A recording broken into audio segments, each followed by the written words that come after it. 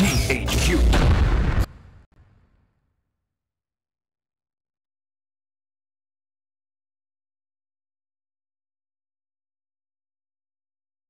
It's been a long time.